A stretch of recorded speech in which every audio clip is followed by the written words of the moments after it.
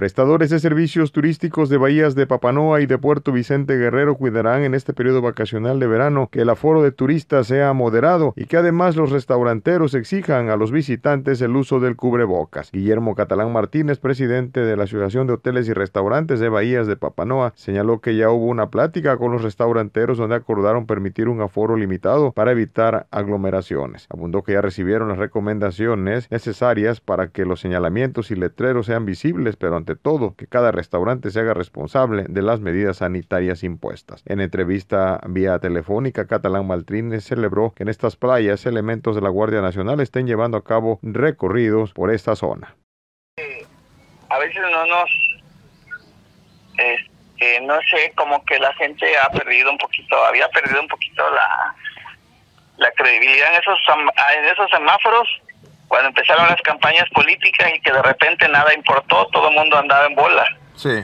Pero nosotros, solo es un comentario adicional, pero nosotros siempre hemos respetado este, las medidas que establece la autoridad y las seguiremos haciendo al pie de la letra porque no es un tema de juego, para nosotros es un tema serio y nos da gusto que pues a Puerto hoy está entrando la Guardia Nacional a checar todo esto porque pues hablaba de la gran cantidad que está visitando, ¿no? Y eso nos da gusto que, que independientemente de que se que se emitan este, recomendaciones y que algunas son de carácter obligatorio, pues que también la autoridad haga algo para que se cumplan, ¿no? Porque la costumbre o el hábito del, de nosotros como ciudadanos es no respetar muchas veces, pero a veces es necesario, ¿no? Que la autoridad también haga presencia y eso nos está gustando en nuestra parte, en la conciencia de muchos, y en lo personal, estamos aplicando estrictamente las medidas porque sabemos y hemos visto que este no es un tema sencillo, han muerto muchos familiares o conocidos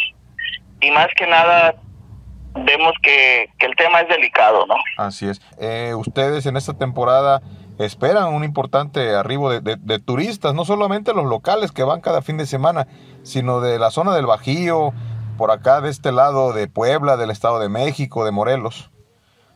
Sí, así es. Este, nosotros hay mucha gente que está buscando este, posibilidades de hospedaje y como bien lo dices, pues es una temporada en que la gente viaja, pero aún así mucha gente, lo bueno es que mucha gente tiene la precaución y está preguntando si se están aplicando las medidas.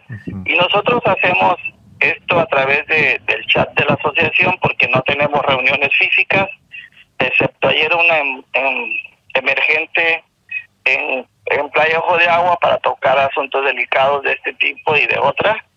Este, estamos haciendo mucho hincapié en que la gente respete, que, que cumplan con todas las medidas, porque independientemente de todo, la salud de los de los propietarios o ya son gente grande, hay que hay que tener cuidado, ¿no? El llamado sería ese a la, a la ciudadanía, que ahí en Bahías de Papanoa se están aplicando los protocolos y que la misma población turista eh, los acaten, que es lo importante.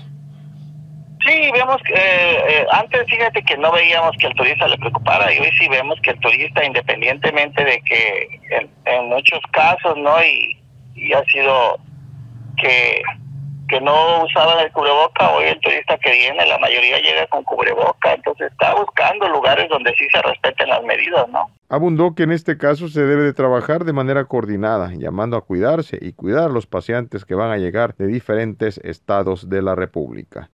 Informó para Canal 6 Guillermo Hernández. CN6 Noticias, de lunes a viernes, 8 de la noche.